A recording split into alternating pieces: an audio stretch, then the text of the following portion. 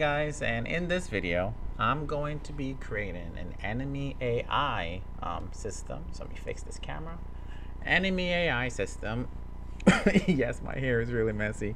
And um, the idea here um, is that there's going to be um, a couple of different types of these enemies and it's going to be this bonefish this bone eel that we have right here. So according to the Suncastle Gaming, who is the rightful owner of this project right here, great, great um, company, great set of people um, that's creating educational games, by the way. They brought me on to help them out with this project. And so tonight I'm building the AI system and what's going to be included in here is that I'm going to try to create just one script.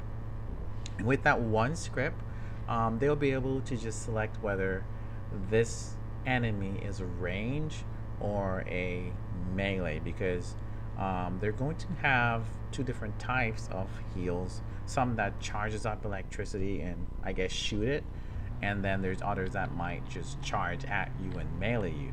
So if I go over to this one here you can see he comes alive and you know the electricity and everything. So um, some of the features of this AI is going to be the line of sight um, functionality. So if there's something obstructing the player from the enemy, the enemy shouldn't still attack it because you know he can't see it. So it's um, it's not going to be like that. And then also we're going to use um, field of view, like within like a certain radius uh, uh, and um, peripherals. So um, all of that we're going to try to implement into this script right now. So if that's something you're interested in checking out or learning more about, I would say um, watch on because we're going to get it right now. Okay. So I'm a little tired. So forgive me. It is 1048 and I'm making the video now because this is when the kids are asleep. So first thing I'm going to do is I'm going to go into the script folder here and go into the enemy script folder nice and organized. So I'm going to go ahead and right click and create um, the enemy script that I'm going to use. So I'm, I'm going to call it uh, bonefish AI yep bonefish AI and I'm going to find this creature right here. Actually you know what? I like to test sometimes on other things that are not the um, the main object. So I'll go ahead and I'll just create a 3D cube. It's all the way somewhere in Africa. So I'm just going to bring it, put it on glam, which is the character right here, and take its position and just zero it out, which just brings it right here where I can find it. After that, I'll go ahead and unparent it from glam so that it's just right here already, and I'll put it right here. This will say serve as my my enemy for right now. I'm going to put the enemy AI script on him. Oops, not the enemy AI. That is... That is actually another script that I did not create. Bonefish AI is the one we're talking about. And so one thing to note that you should also know is that whenever you want to know which direction something is facing, the blue arrow determines which direction it's facing. And, and the reason that I didn't put this script on the bonefish right off the bat is just because the bonefish is set up a little bit differently. Where you can see the blue arrow, the direction he should be facing, is actually pointing that way while his head is that way. So he's a little bit reverse, and I don't want to spend the time to um, sort that out yet so just to make sure we make the script work, um, we're just gonna put it on a cube and then once we know the script work, we can always make sure that the um, 3D representation is aligned with the script. So it's always important just to pick somewhere to start. I'll double click on the script and let's get started. Looks like it's opening over here on my other monitor. Nope. All right. Yes? No? Maybe so? Um, Interesting. Okay, so something else opened up over here, but it's not, it's over here in front of me. Okay, so um, first thing we're gonna start off with is a little drop down so that we can pick between whether this is a range or a melee style fish. And what will happen is the code will follow that logic. And so we just have one AI script for all of the types of fishes, which I already told you I would do. So public enum, and now we would give it a name. Um, I think fish type is pretty good. And then with the curly braces, we just start adding some types in here. So I will call this range and then comma melee. Okay, and you do not add a semicolon at the end of this command. That's all you got to add and you're good to go. Next, you create your public variable that we're going to see in the inspector. And the type of this is the type that you called this right here. So you could literally just copy paste it. Boom. And now give it a name that you're going to refer to it inside the script. And I'm just going to call it um, fish type or, or, or actually enemy type. And that's it. Now that is called enemy type. If I save it and head back to the code, and then um, once Unity processes it, and I click on here, you can see now I have a little drop down. Let's just collapse some of these so we can see it better. See right here, I have a little drop down range and melee. So now it's going to be really easy to just select what type um, of behavior it's going to have with just that little drop down. Excellent. All right, I'm looking at the video here and I feel like my camera could sometime get in the way and I forget. So I'm actually going to turn my camera off. There's no need to see my face.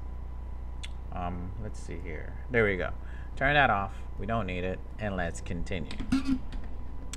Um, next step, I will need some stuff in the start uh, start function, but I don't need it right now. What I'm going to do is start creating my function here, which is going to tell me whether or not I'm in front of or the enemy is in front. The the the the player is in front of the enemy. So it's a bool a boolean type function. It's a return function. Right now it's not returning anything. So your Visual Studio will show you the red uh, line underneath it. Um, but uh, it's not an error. It's not an error yet, or it hasn't. It's not a full error yet. We just got to put some code into it to make it work um, properly. So let's start off by determining which direction the target is. And the target is going to be the player. In fact, let's create that as well. We'll make it private. So we just say transform and we'll call this um, player right?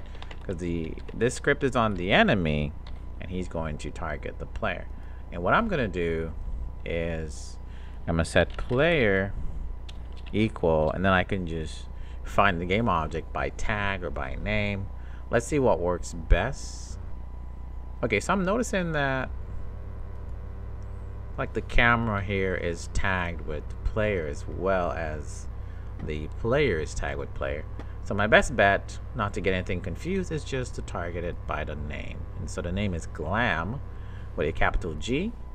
So I will do that. So now I'll say player.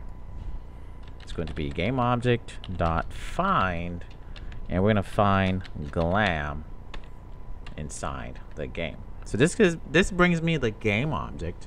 However, you can see that the uh, the the um, the variable type is actually transformed. So that means I just got to go further into this game object and bring back the transform. And now player will indeed represent the transform of Glam. Now that we're good with that, let's go and proceed with checking if he's in front of the um, enemy. So we say vector 3. We're creating a three-dimensional space uh, in three-dimensional position in 3D space. And I'm going to call it direction um, off player. the direction of the player, which direction he's located. And to get that, it's simply your direction, so the enemy direction, by saying um, transform dot position minus our player position. And that will do it for us. Next, it's time to get the angle. So let's create a variable right in here. Can't spell float. Float. And I'm going to call it uh, angle. And this angle, to get the angle of the um, what we're looking for, we can just use the vector3 dot angle command. And it's simply just going to ask us from and to. So all we got to do here is give it the from, and it's going to be from the forward facing of this enemy so transform dot forward and then the to is this variable that we made right here which is the direction of player. With that my friend we have everything we need to create a simple if condition that will give us a yay or a nay whether we are in front of the player. So we're gonna say if and then we're gonna do a math f to get the absolute value of angle just like that so look at the command with with space you can see that it's just this command right here gives us the absolute value but it's not a full condition it just gives us the absolute value and if the absolute value of this range or, or I'm sorry this angle is more than 90 and we're going to do it again. Absolute value. Math um, f dot absolute value of um, angle again. And if this time it is less than, um, I think it's about 270. If this is true, then we will return true. Okay, now it is still false because what if this is not true? We still need a default fallback and which would be false. Alright, so this will only return true if we're actually in front of the enemy. And to test this, um, before we return true, because remember when you do a return, kind of like say stop the code there and go no further. So that's why um, we can put false down here without saying else okay you don't you don't have to say else because this returns the code and it just stops there. So if this never returns then and only then it will be actually false. So before you do any returns you have to do all your logs here. I could just print something out. But I'm gonna do a debug dot draw line instead to see if I can draw a line from this enemy position to the player position. And also I will make it a certain color. Make it red since we're underwater and the green and blue might not show up as well. So let's check if this works. All we have to do now is take the function and let's just continuously check for it inside the update. Now why did we make it a boolean? So that this function here represents a true or false so we can easily use it in a comparison statement to say hey if the player is in front of us we can have something happen um, but this is just a, a fraction a fraction of what we're actually going to be accomplishing but it's always a good time to give it a test all right so I'm gonna hit play and I'm actually going to take this window off. Put it about over here. That's not, it's not working as planned. Let's put it below. There we go. And you can see right here in this scene that it shows me in front of him because I am indeed in front of this cube. And if I go this way, let's Go this way a little bit. Try to get out of his line of sight. Now I'm a little bit behind him. See that? Behind him. If I go in front of him, he sees me. Sees me. And then if I go a little bit this way, boop, I'm behind. So now I'm behind him. Doesn't see me. And then when I go in front of him, sees me. That's working just as planned. You can see that line is being drawn. Okay.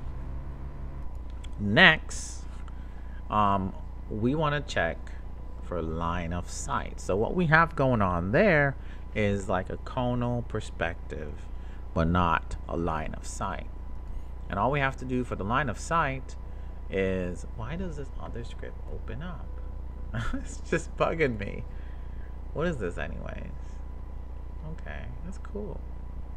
Looks like some other stuff I did.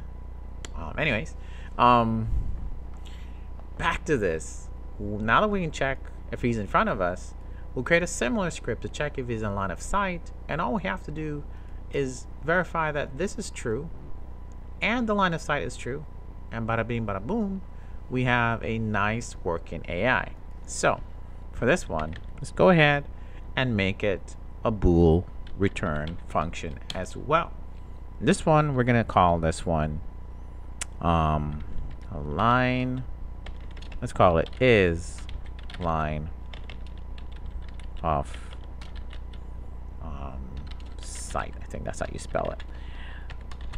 There it is. Is line of sight.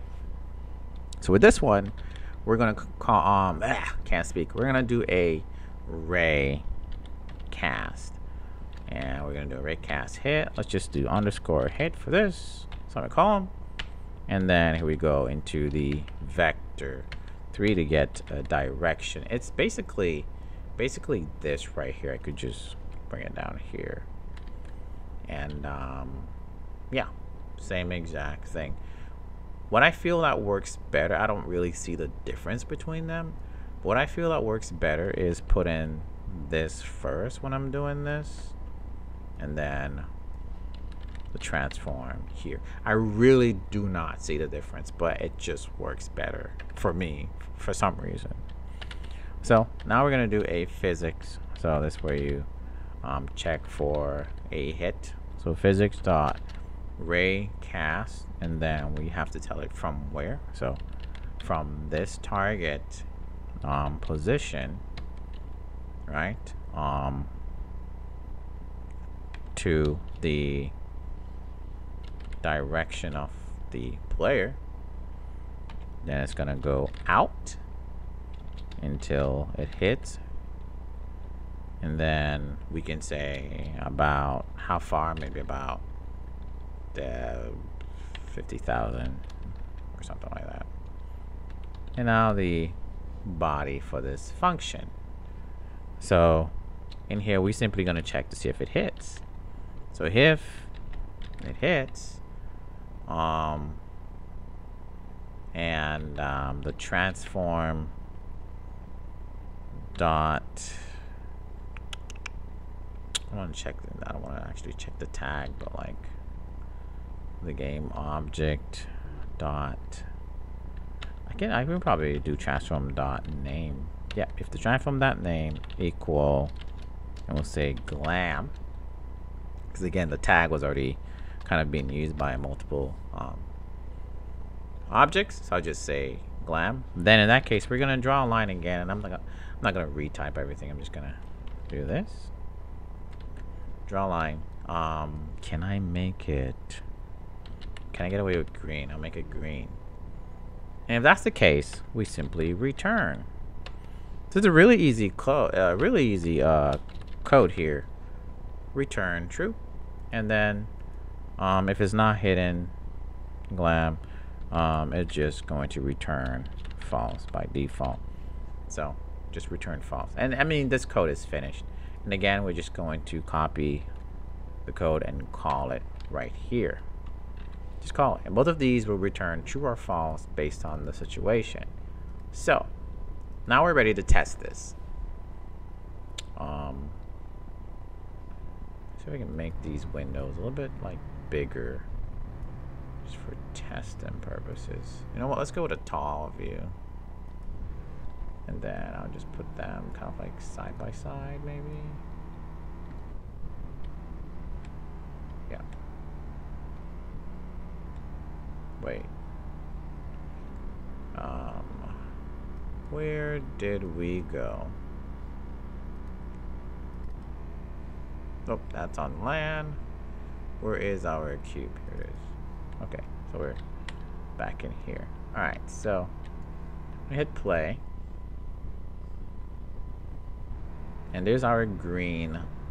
There's our green. Um, you see our green, which which follows us no matter where we go. So it's cast an array at us at all times. You can see that It cast array at us at all times, no matter where we go.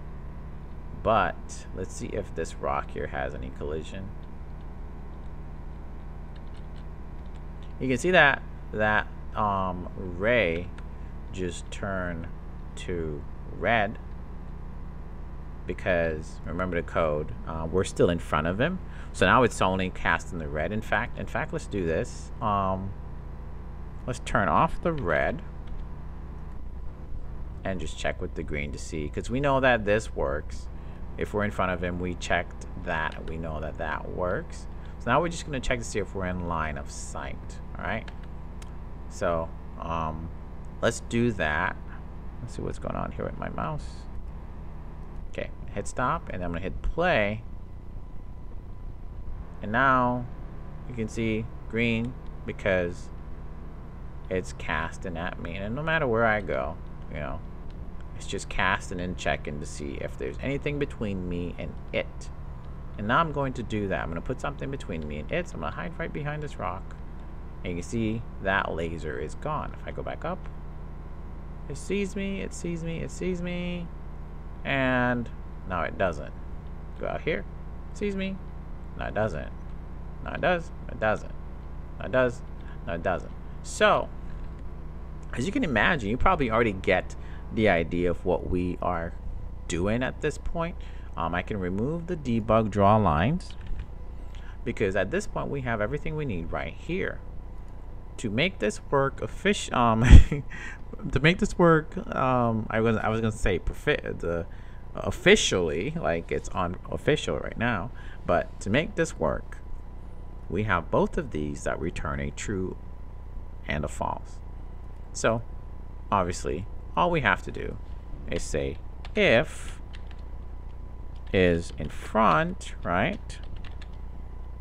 And is line of sight. Then do something clever. That's it. That is absolutely it. Okay. So this would mean that he's also in front of us within our view and there's nothing obstructing him. So now he can do something cool. What he does here will depend on what type he is and um, what we want him to do. So um, I think we're going to wrap up here and continue some more tomorrow because it's now 11.09 and I just kind of want to give you guys just the idea of what I'm going for, for right now. So the objective now, where you would go from here, now that you have the types, you can make them do um, certain things. And the way you would check to see what type he is, you would simply say, well, now that the player is in front of you and you can see him, um, you can say, well, you want to add maybe a range like is the player close enough? And you can easily get um, distance with vector 3 dot distance. You check your um, player position and transform that position so you can get distance. You can do something like um, since you're already um, keeping track of the player position you can you can just put this inside of another if for example um, we can create a public float and we can call this max range. So this is how far the player would be allowed to before he gets attacked you can simply say if well let's not make it a one-liner. We just do a vector 3 and just and just call it um, well I'm sorry not a vector 3 but a float and just call it um, current distance and say that equals to vector 3 dot distance just like that and just needs A to B. So you say transform dot position and then um, player dot position. Once you have that set, my friends, you simply do your if current distance is um, less than your max range. then at this point, um, I would say you put you put then the if is was is front and is line of sight boom. Now you're ready to attack the player or charge at the player whatever you got to do. And then now to check which type he is. To do that is really simple. You say if um, the name of your variable here enemy type um, you don't need to put a dot equal or nothing like that. You just say if enemy type uh, what's it called? If enemy is it uh, you don't have to say like dot. Well yeah you could say dot to string. If you convert it to string um, and then you say equal equal boom uh, let's say range. Just like that. This will work.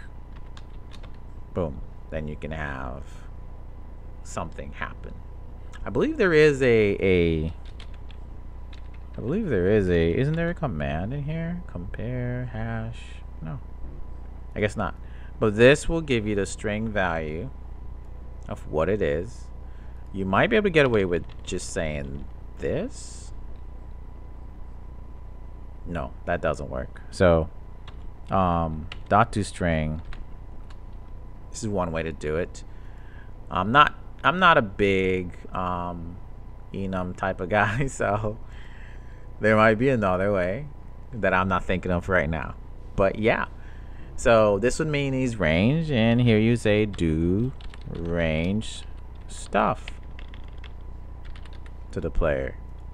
Else you know, do do melee stuff. So that's it. That's that's the gist of it. Let me zoom out, kind of like look at the full code here. Um, we're not using these imports. We're gonna get rid of them. And I said imports like it's Python. Um, quick little variables here. Make sure that the player is Glam. Checking distance before we do anything, because you could be in front of the player and like miles away. You shouldn't be attacked, you know? And a little command here to check to see if he's in front of the player. A little command here to check to see if he's within line of sight. And when working together, they create a nice little AI system. So that will do it um, for today.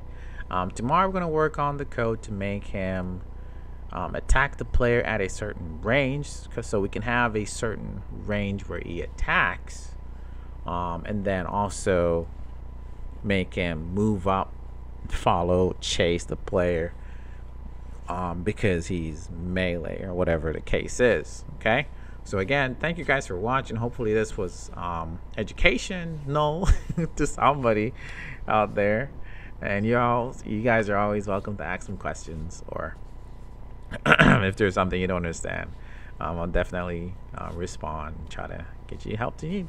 All right, have a good night.